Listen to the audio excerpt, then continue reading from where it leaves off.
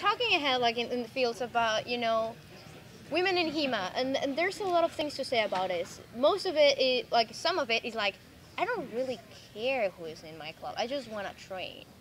But we have find also we have, we have also find out there's people who care.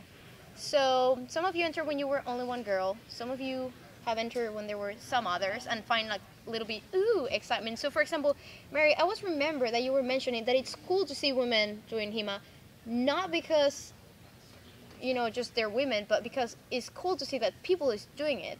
Because Yeah. it's not normal for girls to do it. So, I mean, I want to say that there's nothing special about women being in HEMA in that, you know, yeah, it's just, it's the same for us as it is for men, right? We just go through the process, and for a long time, I was the only girl in my club, and that's fine. I just do what the boys do. It doesn't, there's nothing ooh different about Right, it, right. right? Yeah, totally. I'm just doing it like everybody else. But it's nice to see um, kind of the perceived barriers kind of Right. break down. Like, I think um, a lot of girls end up getting dragged into it with their boyfriend or husband, right? That they never don't, But then they don't like it or whatever. Right. But it's, I think for them especially, it's nice to see, oh yeah, there's someone here who does it and doesn't Right. think anything of it. Right. Yeah, for, I, I just made a joke myself and I didn't realize it. Like, oh, you just like them because they're female and they're pretty. So that's another thing that we see. Like, how can you practice that martial art? You get bruises. You have to be pretty. I do get Right? bruises. I get paper cuts too from rapier.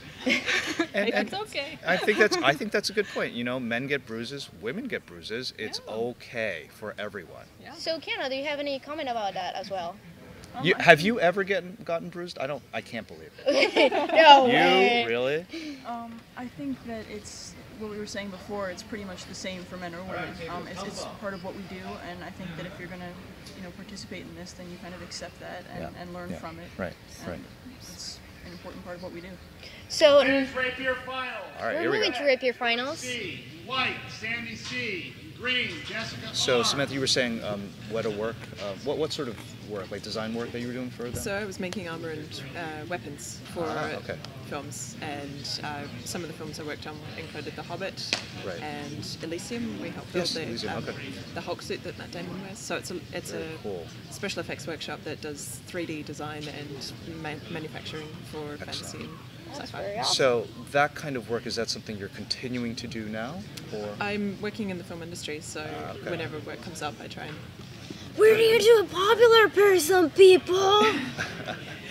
It's pretty awesome. I, I was very lucky because um, when I was scho- in school, um, The Lord of the Rings came out, and Yes, suddenly it I can became really accessible for I everyone. can imagine the, the good luck, good fortune from that. Um, and is the, the industry still pretty strong in New Zealand since they're still doing all the work for um, The Hobbit? Uh, the the industry goes in waves all Yeah, the time. okay. So anytime you're working in a creative or entertainment environment, it's it, it does this. Right, right, So right. you, so you um, look for your opportunities as they come. Yeah, absolutely. and gotcha. the, one of the things that's really special about Weta is it attracts a community, and Mm-hmm. there's people come back again and again. Very good. So yeah, communities that uh, you know interface with each other all the time. So, um, going to the point, the point. Uh, you're from from from far far far far far away lands, which is very very very very interesting because that means that in far far far far away lands, these far far far far old martial arts are in far far far places. So. My question is, of course, in, in New Zealand, I mean, I guess it's a little bit complicated to travel a lot out there, you know. 17 We- hours to the west coast of America. That's that gives an answer. Well, so my that's worse than question for you, yeah. I know. So my question for you is, um, for that I really imagine that Hema community there is like very close, if not very. I don't know if it's small or not. So tell me in like very brief words, more or less, how is in there? So so New Zealand and Aust- Australia, because I assume that they. You know, We're um, not that close to Australia. It's about it's about four hours to fly to Aussie. So Oh, that's Yeah, not so yeah, bad yeah. though. So um, I have Oh. trained with some of the Australian schools. Um, They're doing their own thing. Uh, We do our own thing. And, Okay. and there's some chances to cross and, and meet people and train. But majority of the HEMA movement in, in New Zealand is self-generated by okay. people who have um, a lot of interest in the manuscripts, much like the rest okay, of the world. Okay, good, good. So Hema is like an evolving sickness. It just pops out of. Yeah, sure, sure. Yeah. Well, actually, it's really good to hear that, you know, there are isolated uh, things, you know, sort of coming up on their own I- It's not like you know it started in one place and has spread. Just independently, these things um, are, are of interest you know across the world. So it's it's great to see that. Um, do you have thoughts about ways that uh, hopefully we can kind of further network and and uh, spread the love? I think that anyone traveling to other schools and training with people who don't do what they do is really healthy. Right. And um, I've learned a ton since I, I left because I've been able to go all over the place. Right, And sure. You know, everyone's everyone's doing small pieces of a really big picture.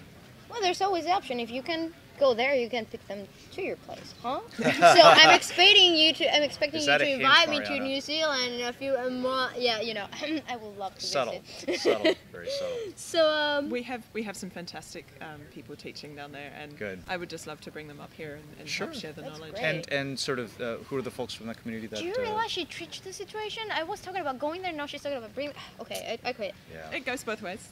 that's good. That's good. So, thank you a lot, Samantha. This was like very enlightening. Um, now I think we have to move on to women's.